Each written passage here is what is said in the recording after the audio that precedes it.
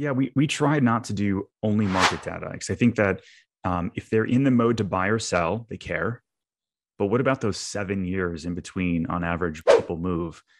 Well, I think it's even five years now, but still, how do I say relevant in their life for the next five years before they buy or sell, so that they reach out to me when it's time? And so for us, it's you know on our consumer stuff, it's very localized. You know, here, yes, there maybe it's a little bit of real estate.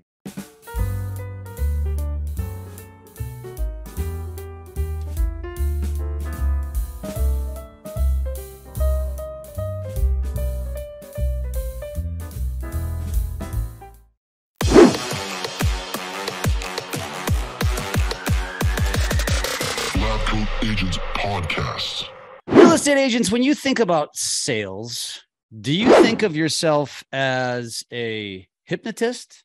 How about uh, how often are you practicing or reading up on your neuro linguistic programming? Or let me take it one step further. Have you ever thought someone who was a master at picking up women would actually apply to you becoming a better salesperson and acquiring more listings and more buyers? Well, if you're if you're thinking to yourself right now, dude, you're high, I implore you to stick with me here because our guest today has got some fascinating stories and is a master of all three things that I just described, including a pickup artist. Wait till you hear this story. Welcome to the show, Paul Ross. I'm looking forward to this conversation. Hey, thank you. I just want to say, as you're listening to this broadcast, I'm not sure all the points you made. Stop and find yourself thinking, damn, this is really interesting. I want more Paul. But as that's taking place in a way that feels so good, I just want to say, I'm so honored to be the one leading this exploration as we share together this magnificent world of hypnotic and subconscious selling. Doesn't that feel right to you? I think you have done this before. And uh, I, I, I, am, I am, I'll say it again. I'm looking forward to this conversation. And if you're not watching this, uh, Paul's wearing a shirt that says, question the media, think for yourself. I like that shirt. That's a good one. That's a good we one. We also have, you can see it. They can't see it if only listening but there's a picture right there of Tom Cruise, who played me in the movie Magnolia, a character based on me. Okay, so let's start there. Let's start there. Let's t- tell us this story of Tom Tom Cruise playing you. We got to hear about this and then kind of lead into Tom Cruise played a character I created. Okay. So this goes back. Let me let me rewind to 19 uh, 87. And I don't know if you have a family audience or not, but I don't care. I am who I am. You can always it's a real, it's a real estate audience, so that that that keeps it pretty loose. All right, well, cool. My parents were realtors, by the way. So back in 1987, I stumbled onto NLP, neuro linguistic programming.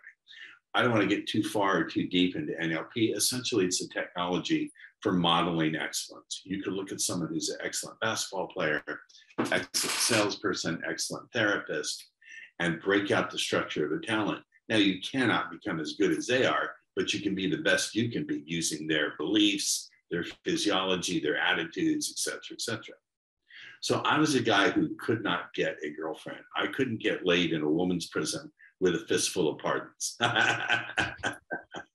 I'm already losing your audience, but I don't care. or or, or gaining them, or gaining them. Or gaining them. And so I, I used NLP to solve that problem. Then I thought, you know what? This works for me. I bet it could work for tens of thousands of guys. I'll write a book. So I wrote an angry little book about how to use this stuff to get women. I won't give you the title because that really will get me kicked off the show.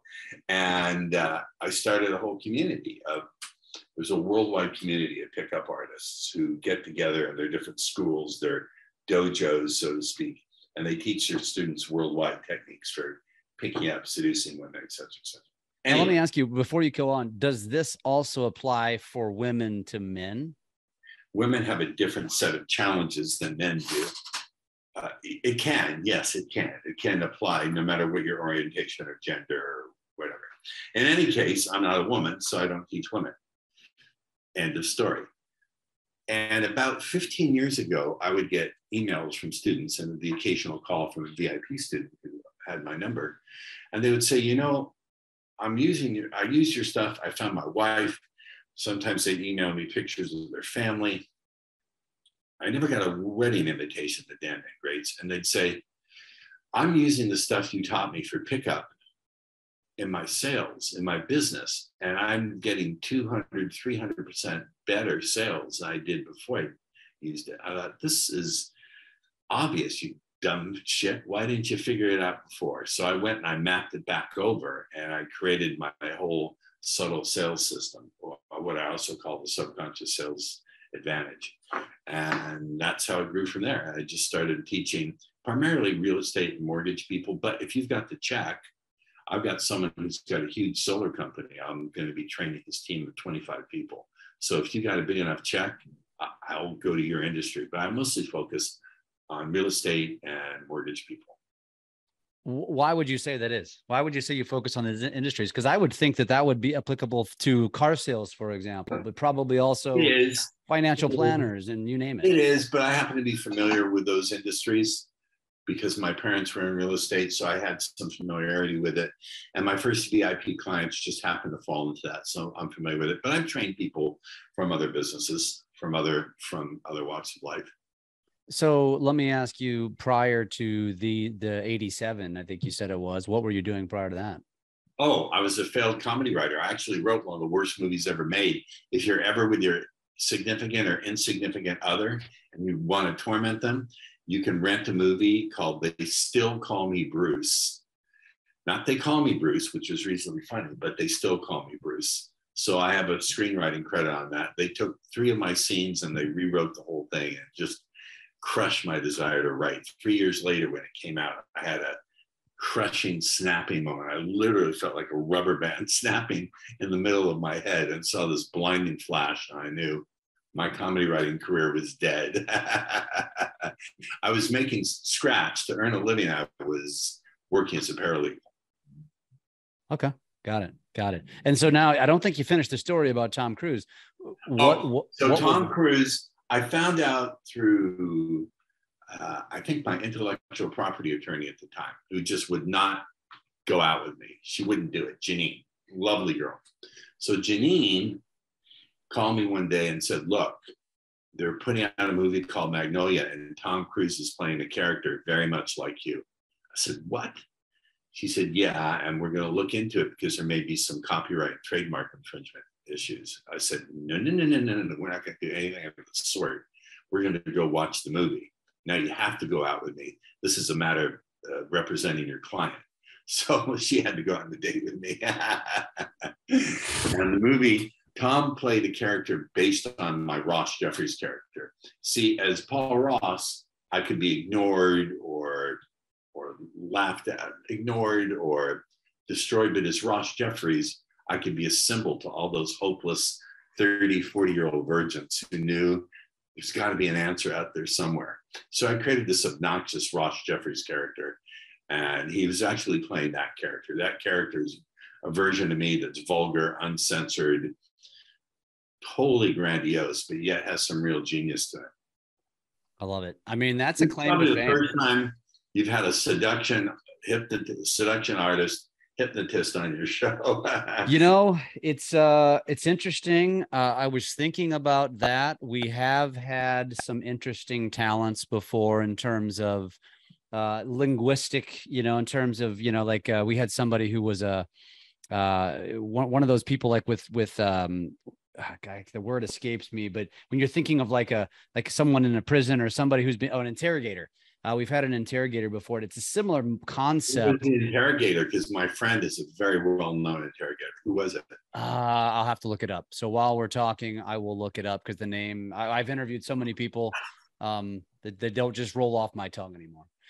But um, let's so let's continue, and I'll, and I'll come back to that. I will come back to that. Uh, so let's let's let's carry this conversation forward because I think it's fascinating. It's always fascinating to get to know people and and what their background is. You have a very unique background compared to most because this is not the typical conversation I'm having. But I think everybody listening wants to know, okay, how in the hell is this applicable? Uh, and specifically, I'm going to pick on the pickup artist concept. How or how is it applicable? I think people can understand that one can equate to the other, but yeah. Wow. So so let me begin to draw some of the parallels. First and foremost, I always teach my students, whether it's sales or pickup or whatever it is, that the number one consideration you have to have is what state of mind do you want your prospect to be in when you're approaching them and making your sales presentation, your close, whatever it is? What state of mind do you want them in? Before you think about what you're going to say, let me give you a metaphor.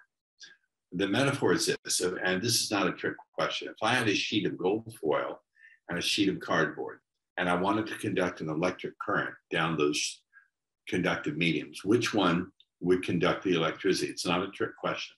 The gold foil or the cardboard? Gold foil. Exactly. We know this. So think of your words, whatever your sales pitch is, whatever your attempts to get rapport, whatever it is. Think of your words as the electricity, but the state of mind your client is in, that's the conductive medium. Do you want them in states of skepticism, states of being unable to focus? Which, by the way, I'm going to put a little pin here, a little pause here. Your clients, your prospects' inability to focus is your number one or number two biggest enemy to your sale. It's not that they don't trust you. That's sure. Now, it's true we have to get know, like, and trust, but that's not enough. Because nowadays, your prospects, number one, can't focus. And number two, they don't trust themselves. So you've got to be able to get your prospects in those gold foiled states, gold foil states of focus and trusting themselves. They don't trust their own ability to make a good decision. That's for a lot of reasons. It's related to the reasons why they can't focus. So here are the reasons why they can't focus. First and foremost, there's too many inputs. Your clients nowadays are like that super hot chick in the club. She's got so many guys chasing after her and so many bright lights and shiny objects in front of her. She can't focus. I'm not putting women down. I'm just saying that's the reality of, of how it works. So your prospects have so many different inputs. There's Instagram, Instagram Reels, Facebook Instant Messenger, TikTok. I'm holding up my smart device, my iPhone, texting, you name it. We have so many different inputs. We've got YouTube. I remember when YouTube first came on, the ads were two minutes long. Now you can click off after like 15 seconds, I believe. Yeah, some cases five. Five. So you see the attention span, it's dropped down to five seconds. So, particularly if you're in a highly competitive field like real estate, and everyone else is doing the same techniques you are, if you're using the same old off the shelf trainings, whatever they are, uh, however good they may have been, however effective they may have been, you're, if you don't get to their door first or you don't get on their phone first, then they already would have heard it from your competition. So why should they buy into you? So it becomes a foot race to see who can get there faster, and foot races foot races are exhausting. So we need to do something radically different. The first radically different thing is to take a different perspective on what sales means. To me, sales is about creating states of consciousness, just as seduction is. If I, or pickup is, or attracting someone is. If I'm going to attract someone, am I going to think, how do I get their phone number? Or am I going to think, how can I use my language and my words to create a feeling of connection, a feeling of intrigue, a feeling of I want to learn more? And so, states of consciousness, sales is about states of consciousness. Yes, it is about getting your ideas into the prospect's mind, but it's also about expanding their mind to include your ideas. So, the idea of sales being about expanding consciousness and creating consciousness is a completely batshit crazy way of looking at things. I don't think anyone else has presented it in this way before. But it's the very ways of thinking and feeling and acting that stand so far outside of what you're used to doing that hold the potential of bringing you results that are so far outside of what you're used to enjoying. So that's why I came up this radically different perspective. And so your clients need to be able to focus. And the second thing, this is really important no like and trust is no longer enough. Write it down somewhere, folks. No like and trust is no longer enough. It's necessary, but it's not sufficient because your prospects just don't trust themselves to make a good decision. They're overloaded, they're overwhelmed, they don't have the focus to make a good decision, and their institutions have screwed them over. Think about it. when the banks collapsed, collapsed back in 2007, 2008, the market crashed. People don't trust their government. It's natural to be suspicious of, of institutions. And finally, when buying and selling a home, that's probably for most people, not all people, but for most people, the most expensive investment they're ever going to make. So it's a very, very big decision. So, how do you lead your prospect to trust their own ability, not just trust you, but trust their own ability to make a good decision? I'm going to sneeze in a second. It will be like five in a row. I'm going to be fine because I because I, I want to as you do that. I'm going to ask you a couple of questions. I want to I want to go back to a couple of things. Uh, that that was a uh, he predicted that by the way. I'm just going to point that out. He predicted five and he and he nailed it. Yeah. I think it's fascinating what you say because it's so true, and I'm putting myself in those shoes of can't focus, and I and I and I almost self analyze myself and say, if a TV show, if a video, if a book, if a salesperson, uh, if my employee, it doesn't matter. If if if they have my attention like they're clearly they're they're they've won right? They're winning. They did something right. But the reality is how often do they actually get my attention? And and and i wanted to go back to this and ask you this because you know our attention is being taken from all these medias all these media platforms. But i think the media platforms have created that just convoluted consciousness, if you want to call it that, to where as I'm talking to someone or someone's talking to me, I'll use myself as an example. They say something that makes me start thinking about something, either relevant or non, and then they've lost me. Correct. Now, how do you create focus? Well, you can tell stories. That's a great way. But why not tell stories or shortcut that and use the power of suggestion and the power of hypnotic commands. So if I wanted someone to trust that they can not only, if I wanted someone to see me as their leader and also to trust their own ability to make a good decision, I wouldn't, uh, let's say I'm trying to get a listing. What, here's what I wouldn't say at first. At first, I wouldn't say, all right, before I show you our marketing plan, which will prove to you that, that how many homes in your in this area, just like yours, we've sold at a premium price. I just want to encourage you to ask any questions that come up, okay? I wouldn't say that. Because, first of all, before I show you, it's something I'm doing to you. Does that make sense? Words, my book is called Subtle Words That Sell, and words are powerful. Words have hypnotic effect. Words structure our consciousness, they shape our decisions, and they drive our behavior. Say, our the, say the name. Say the name of the book again. Subtle Words That Sell. Subtle words. Prospects to convince themselves to buy and add top dollars to your bottom line. Got it. So, so I want to get my grab my clients' focus, get them to view me as their leader, and then get them to trust that trust and own ability to make a great decision. So I, here's how I would present a marketing plan. It's going to sound unusual and very different, even batshit crazy. I encourage you to listen, and then we'll workshop together. All right. We have time. It's a relatively good chunk of time we have on the podcast. So I'd say before we explore our marketing plan together today, I just want to invite you to please share the questions that naturally arise when a great decision is being made. Now, you probably already, from the way I've said it, hear the difference in those mm-hmm. two things. Can you hear the difference? oh, yeah. before we, that's something we're doing together, explore. Here's the clever thing this involves uh, implication and a really powerful subconscious communication. Before we explore, well, explore has so, it's a very powerful word because exploration is associated with novelty. When we explore, it implies a new experience, correct? Novelty is a hardwired driver of human behavior.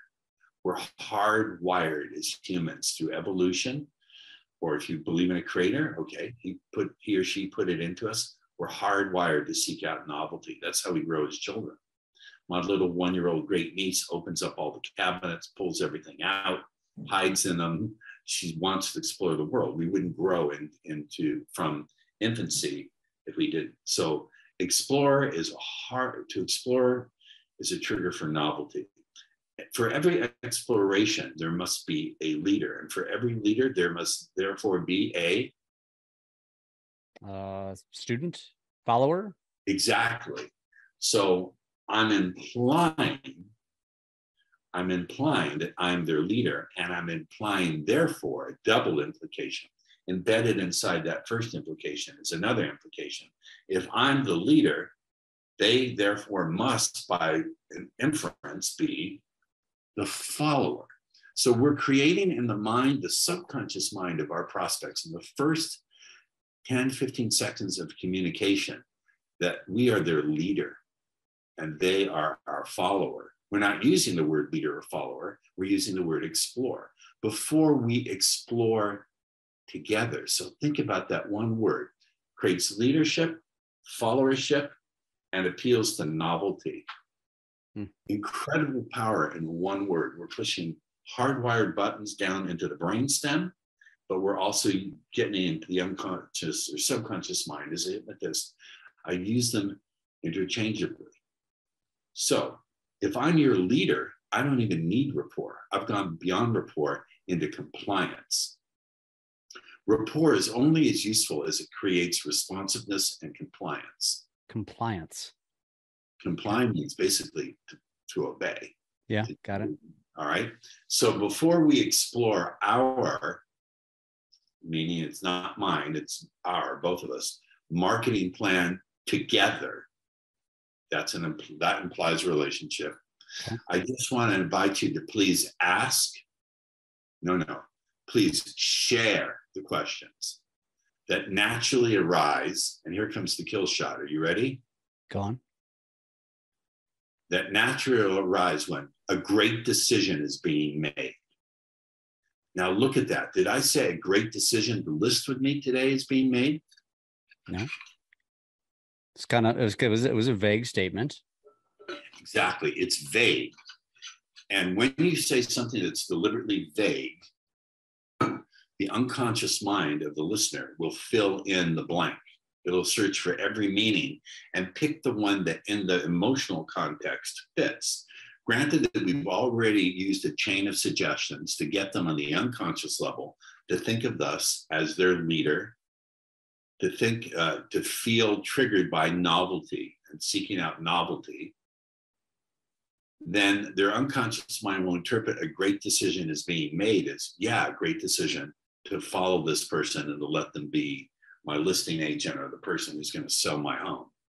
Do you get it? Mm-hmm. This is all done very quickly in the space of about a minute. So my claim is you can skip traditional rapport. Traditional rapport techniques for their time were okay. Just like a, I don't know, World War One biplane for its time would shoot down another plane. Right now, nowadays, I'd rather have an F-35 or F-22 Raptor or even uh, F-18 Hornet. So traditional rapport techniques, they're clunky, matching the other person's posture. People can catch them. They've seen it before. A technique identified as a tech technique disarmed. They've seen it before. It takes a lot of focus and time to execute it. Oh, am I standing in the right way? And stupid techniques like commenting on the fish on the wall. Oh, those are beautiful children. How many, how old are they? Oh, they're your grandchildren? I have five grand. That's stupid BS. It may have worked to some extent, but it's diminishing in its returns. It's like a 1972 Oldsmobile it ran great on the first 100,000 miles, but now it's creaking along at half a million and it's running out of useful life. So, on that vein, you know, when it when it comes to You're saying that. So, for example, you know, let's just say somebody says, well, what I do before I meet with a client or, or you know, a, a prospective or a prospect is, is, I go stalk them on social media. I learn a little bit about them. And when I go meet with them, I have done my homework and I bring up something that might catch them off guard and they're impressed because I've done my homework. You're saying that, for example, is an old fashioned technique. Yes. That takes work. I'm lazy. True. Okay. Fair. Fair. And so you're saying rather than, well, first of all, you know, being different is kind of something that y'all have to just kind of get used to in all facets of all business. Because if you're not different nowadays, you're not going to stand out. But in this particular case, just changing the way you articulate something, you're saying will change the results. Language, yes, language is extraordinarily powerful. Hmm. Extraordinarily powerful. I used a bit of patter at the beginning of this show that was incredibly vague. I said, before we begin this exploration of the world of subconscious selling today, I'm not sure all the ways, which implies what? When I say I'm not sure all the ways, implies that there's going to be at least one, if not more. All the ways you might stop and find yourself thinking, I want more Paul. But as that's taking place, I loaded it up with hypnotic suggestions. Hmm. I, I wonder how many people though just maybe focus on the want more of Paul and think to themselves, geez, this guy sure is conceited.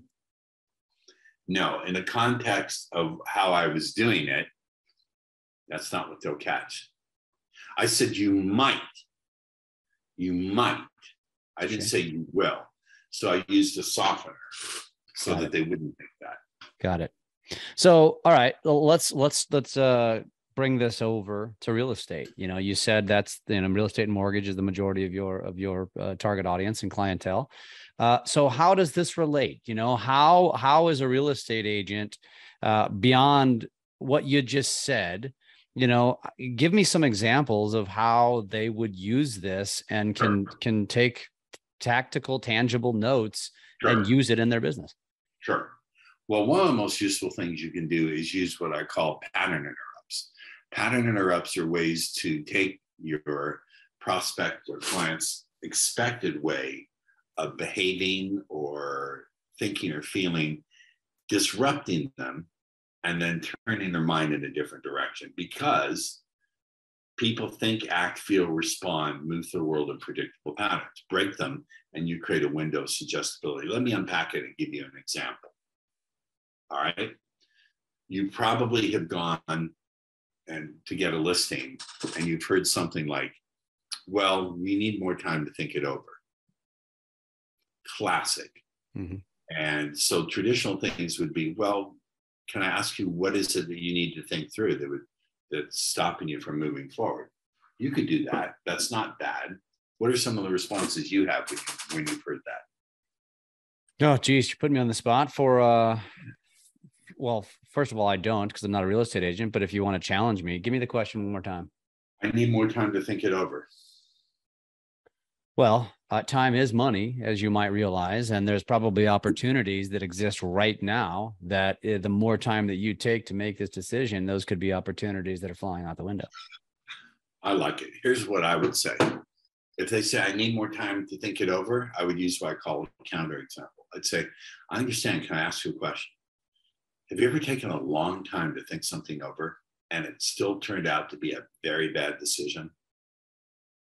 maybe it's not about time, but about the clarity you need to recognize you can move forward today. So, thinking about it like that, what do we need to get on the table so you can gain that clarity and move forward in a way that feels totally right for you?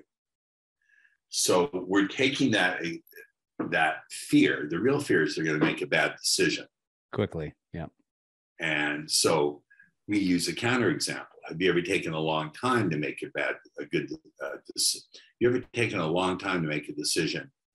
Or have you ever taken a long time to think something over and it still turned out to be a bad decision? Yeah. Everyone's had that experience. Everyone. So immediately it erases the objection. It gives and gives the prospect objection amnesia. And then you redefine it as not about being time, but about being clarity. And once they buy into the idea that it's about clarity, then they accept the presupposition that you're the one who's going to bring the clarity to them. Because remember, earlier on, you establish yourself as the leader. Does that make sense? Mm-hmm. And it's a way to smoke out the actual objection. A lot of times the prospects don't know what their objections are. They're just muddled and they don't want to appear stupid by saying, well, we don't understand. Even if they don't, it's seldom that they're going to say that. They might, but they may not. Would you consider that more along the lines of uh, hypnosis over neuro linguistic programming, or is it a little it's bit? An example. It's a hypnotic technique. Milton Erickson, the very famous hypnotherapist, he was a psychiatrist and an MD, of course, who redefined the whole field of hypnosis back in the 30s, 40s, and 50s. In my opinion, he was to hypnosis what Einstein was to physics. He would frequently use pattern interrupts. So I think it's an example of hypnosis, but I learned the techniques through NLP, through NLP seminars, because one of the people that the founders of NLP studied, remember I said NLP was a way of unpacking people's talent. One of the people they studied was Milton Erickson. So a lot of just conversational hypnosis or conversational power of suggestion comes from the work of Dr. Erickson. Hmm. And so, you know, I, I guess first of all, I, I, can honestly say, as a listener, because I'm interviewing you, um, I can say it's a different, it's a different feeling from the conversation. It almost feels therapeutic in a way. I As, think selling is therapeutic, and I'll tell you why. Because if you have, I think our prospects often don't really believe that they can afford something. They don't believe that they can have something. They don't believe they deserve it, are capable of claiming it. When you can expand their mind past all that, expand their consciousness to embrace new possibilities about what they can own, what they can enjoy, what they can explore, you're actually doing healing work. I know that sounds crazy, but I truly believe it. You're expanding their mind past their limitations. That's a healing and heroic thing to do. So if you pause a minute, I know it's a crazy idea. How are things now completely changing when you pause and think to yourself, what I'm doing is heroic. What I'm doing is healing for others. What does that do to your willingness to pick up the phone? What does that do to your willingness to knock on a door? What does that do to your willingness to make a presentation, to share a presentation? What does that do to your willingness to create the circumstances where there's going to be a close? What does that do? If you were to just for a moment, mysteriously, effortlessly, miraculously, magically take on that perspective that your job through your selling, you're, you're inducing, creating the opportunity for healing and expansion and personal change if every day you woke up and thought, hey, wait a minute, I'm a hero, I'm a healer. What I'm doing is expanding consciousness and healing people in the process by changing their beliefs of what they think is possible. I'm creating the experience of novelty for them, which is something every human seeks out. I'm a freaking, I'm a freaking badass for doing this. And I'm serving people in a way far beyond what they teach me in real estate school or in whatever course. This is something that's really, really awesome. And if you were to stop and think, wait, I'm not selling real estate, I'm selling decisions. I'm always selling decisions and good feelings about decisions. I'm a decision service technician. Everyone always says, well, I'm here to serve. Well, serve what exactly? I'm here to say, you're here to serve your clients and prospects to make a great decision. What about those that say they're selling an experience? All right. So, what is that experience? Well, you're uh, purchase. You're probably making the biggest purchase of your entire life. That can be stressful, and so it's my job to make that as as peaceful and smooth a process without with with with as limit right. as little stress so as possible. Ultimately, the biggest part of that is to sell the decision. I understand what you're saying, but this core of the experience is the experience of feeling comfortable making a decision. Mm-hmm. That's the hardest part. It goes deep. It goes deeper than that, is what you're saying. Yes. Yeah. Yeah. I, I, I think that makes that makes a hell of a lot of sense. Now, let me ask you a question because I think there's got to be some listeners that are thinking this to themselves. Because when it comes to this sort of thing, you know, it's it's uh, I'm I'm going to use a very rough, harsh term. Um, so forgive. Uh, I'm going to ask the audience for forgiveness. Uh, uh, well, here's what I think. You know, here's what I would say, and I'm so I'm intentionally playing devil's advocate. But how is this not a mind fuck? Hmm, that's a good question. I think it's a mind expander. Is uh, look, let me put it this way: it's a mind expander. I have a nephew who's a magician in Las Vegas, and I said, Seth, when you do your tricks, and he stopped me right there. He said, Uncle Paul, I don't do tricks. I create illusions that lead people to wonder. And in that process, I misdirect them long enough so that when their attention is turned back to where I want it to be, they have an experience they weren't expecting. It creates a state of wonder. So, is he hmm. mind fucking people? Or is he engineering wonder through misdirection? He's not lying to them, he's misdirecting them through where he's putting his eyes, what he's doing with his hands, the expectations that he's setting up. Hmm. So I don't think it's a mind fuck. A mind fuck is when you press down on people's fear of loss, when you press down on people's uh, guilt, when you press down hard and uh, on their need to please other people. That's mind fucking. When you okay. lie about the, the, you deliberately lie and say, you know, this home based on on what other homes are selling around you. Yeah, we can get you the price you're asking and blah blah blah blah. That's fine. Got it. What about what about those that say this is hokey? This is what? Hokey. This is hokey. Like this is uh it's almost like you when you think of put it in terms of medicine. And there are people that believe in modern medicine and there are people that believe in holistic medicine. And some will say one that the holistic side is very hokey. It's just a bunch of BS. What do you say to that? Well, here's what I say I say your own results are your best proof. So go out and try my three my free stuff. I have a free five part series called Invisible Influence. You can get it for free. I'll give you the number to text to Perfect. opt in. Let's make let's make them wait to the end. I'll make them wait to the end. That's fine. But what? it's it's five parts, and I give it away free precisely because my stuff is so batshit crazy. Each one has a little actionable tip you can go out and use, see the result. I don't expect people to believe me because I have to give shit away for free. Well, not shit, gold for free, because no one's going to believe me because this is so offbeat and different. So if it's free and it takes 10 to 15 minutes to read the damn report, uh, give up that time and go try it for yourself. You, you'll be astounded and you'll have to bite your cheeks because you'll be laughing on the inside. Like, I don't believe this works. Yeah. But it works. Well, you got nothing to lose by trying. The, the the thing that I would say to your batshit crazy is is that's like me saying, why is this not a mind fuck? You calling it a mind expander? I would say it's not batshit crazy. It's different. And and and our audience has been, you know, we have trained them uh, because you know doing video for your business was different.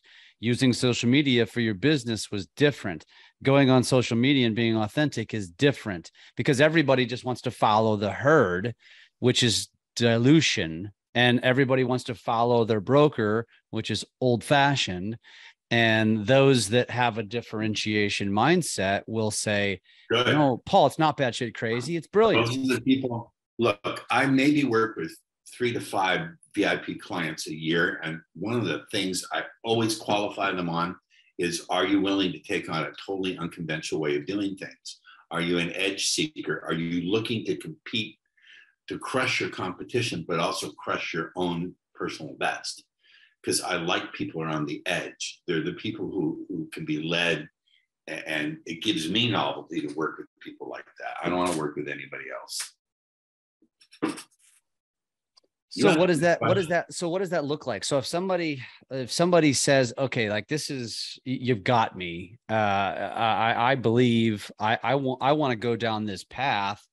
It, it's no different than than scripting or, or, or you know working on on um well i mean in this in the sense that like you can't just listen to this podcast walk away and master this. So how does one improve these skills? You have to start out with a basic knowledge of first and foremost you have to change your own belief system about what's possible you have to look at your own beliefs around your deservingness about your capability about your possibility and about your willingness. So that takes some personal transformation which i'm i'm going to toot my own horn. I'm uniquely qualified to do. After all i've helped tens of thousands of guys who couldn't get a date in their 30s and 40s who have the worst self-esteem, the worst kind of shame. So I can help people who are already successful go way beyond whatever they think has been stopping them to get to the next level, whether it's imposter syndrome or so you got to work on yourself. And the second chunk is learning how to apply this, learning the principles of how this stuff works, and then how to specifically apply it in sales situations. And by the way, one of the things I love to do is to look at online videos, to look at social media posts and go, no, no, no, no, no. Just put in these one or two little subtle words and you'll tap into the unconscious or subconscious minds. I use it interchangeably, being a hypnotist of your prospects in a much more profound and powerful way. Is that is that is that where they should be using them in their hook? Using them in their hook, but also in the way they tell a story. If they tell a story that's too much focused on I, I, I, I, and then I found I, I am this. How can I put this? Uh, as you're watching this video, I'm not sure all the ways you might pause and find yourself growing more curious about what it is I'm going to reveal. But in the next 30 seconds, I'm going to share with you bing, bing, bing that's the kind of language that gets people to really pay attention. Yeah. So go back and listen to what he just said and, and use that, use that language as I love doing this. I love, uh, I have a client who I just fired as a matter of fact. Jeez. But this guy works for EXP. Do you know what EXP is? Oh yeah. Oh yeah. Okay. So he works for EXP and he was working on recruiting agents to come over to him. And I was rewriting his emails and rewriting his his listening to his phone calls that he recorded saying, no, no, dude, that sucks. And just rewriting with hypnotic language. I'm also a copywriter. I've been writing my own copy to sell my courses for 30 years. So I combine the hypnotic language with my skill as a copywriter. But that's why I'm so freaking expensive. Got it. Because I deliver up the goods. So if somebody wants to improve and they want to to go down this path, uh, what what can they do in order to learn more gain more uh, experience with this and, and understand how they should be articulating in order to be more effective Sure. Well, two things. First of all, if you want to get my Invisible Influence series, it goes over how to use this language so you create that sense of leadership. So you can go beyond rapport and into compliance. It also teaches you some take some very powerful techniques for eliminating limiting beliefs in seconds. Like you don't need years of therapy. You quickly teach you some other things, how to do the close. It's five parts, very, very short little reports. Text the word compel, C O M P E L, to 411 321. 411 321. If you're outside the United States, you can use WhatsApp and text the same word compel to 909 741 1321 if you are someone who's making at least, I don't know, like 500 grand a year in commissions, and you're willing to invest in yourself, and you're an edge junkie, you're seeking the cutting edge that's going to take you to a level that's going to crush your own personal best. I really do only take maximum of five clients a year. You can apply to work with me. If you go to speakerpaulross.com forward slash apply, I know I'm coming off as arrogant here, but I just don't want to waste your time or waste my time. No, I don't think that's arrogant at all. I think it's uh it's being honest. Uh you said it was speaker Paul Ross Dot com forward slash. apply. apply. Got it. And uh, once again, the uh, text was text the word compel, C O M P E L, to 411 321 if you're in the States. If you're not, go back and listen to the instructions because I didn't write that one down. Yeah, 909 741 1321. Use WhatsApp. I like it. What? So the last thing I'm going to ask you one more question is is um, you know, we were just talking about hooks, and you just gave one. Uh, let me let me just just test you one more time and say, you know, the most one of the most common videos that a real estate agent puts out is a, a home video. Uh, I'm here at an open house. Check out my new listing. Uh, you know, that sort of thing. What would be a powerful, you know, hypnotic hook that's going to get more eyeballs on said video on the video. on the video. So I've seen these before where the agent is actually, you're talking about they're actually doing a walkthrough at home Yeah. themselves. Mhm. Yeah. Okay. Um, so that's a very interesting one. I would first of all say hi. Hey everyone, it's Deb Smith again. And today I've got a real feast for your eyes. So I don't know all the ways you may find yourself getting as excited as I am as we do this virtual walkthrough. But as that's taking place, I invite you to just give yourself permission to feel really good about what could be your dream home. That's good. That's good. Except except one thing I'm going to correct you on as a video as a video savant. Don't introduce yourself to start. Just start with the feast your uh, because you don't need to introduce yourself. They already know who the hell you are. So don't don't even waste that two seconds doing That's it. fine. I'll take that. That's excellent. the suggestions I, I gave, find yourself growing more excited. No, the the the, the hook was it was excellent.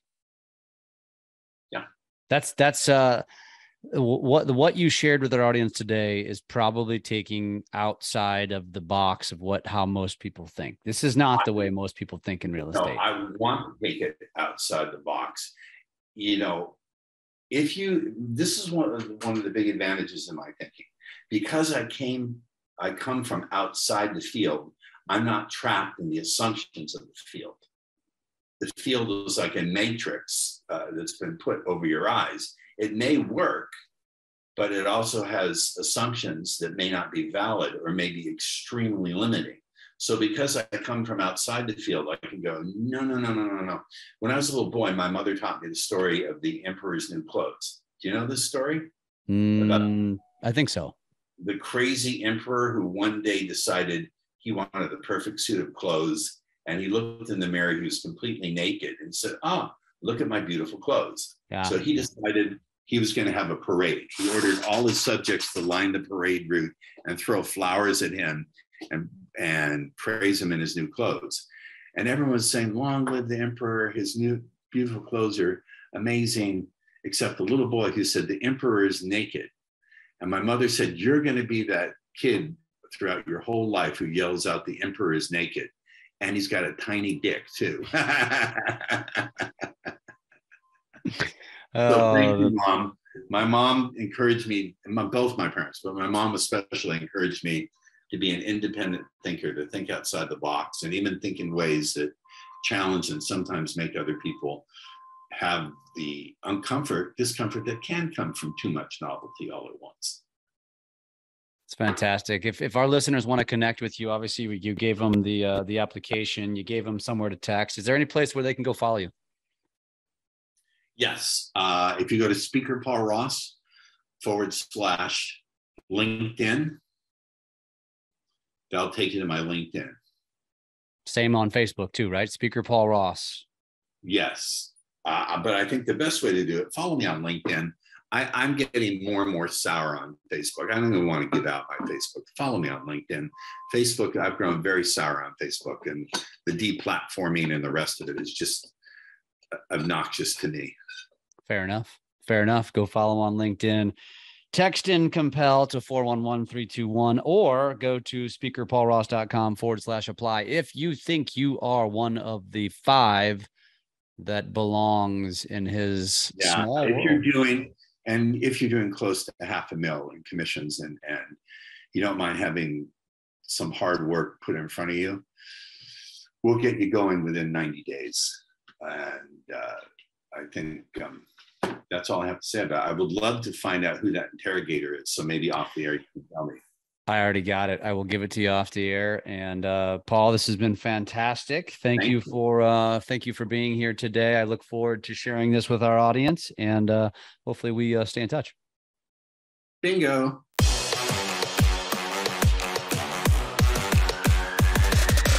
Lab Coat Agents Podcast.